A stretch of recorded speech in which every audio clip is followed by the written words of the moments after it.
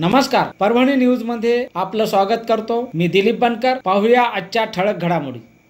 आठ जानेवारी दोन हजार चोवीस रोजी पालकमंत्री नामदार संजयजी बनसोडे परभणी येथे आले असता दिव्यांग बांधवांच्या विविध समस्याबाबतचे निवेदन त्यांना मागासवर्गीय जिल्हाप्रमुख धम्मदीप भैया रोडे यांच्या वतीने देण्यात आले.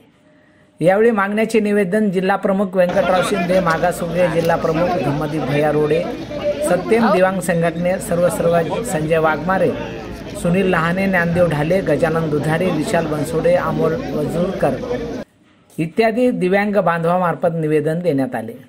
यावेळी जिल्हाप्रमुख व्यंकटराव शिंदे व मागासवर्गीय जिल्हाप्रमुख धम्मदीप भैया रोडे यांनी त्यांचे प्रश्न मार्गी लावण्याचे निवेदन देण्यात आले.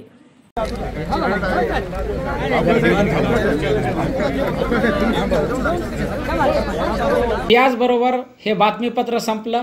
पुन्हा भेटूया पुढील बातमीपत्रात. शहरातील ताज्या घडामोडी जाणून घेण्यासाठी पाहत राहा परभणी न्यूज.